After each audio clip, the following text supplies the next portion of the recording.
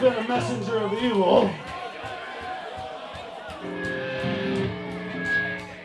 Cinco de Mayhem, what about it?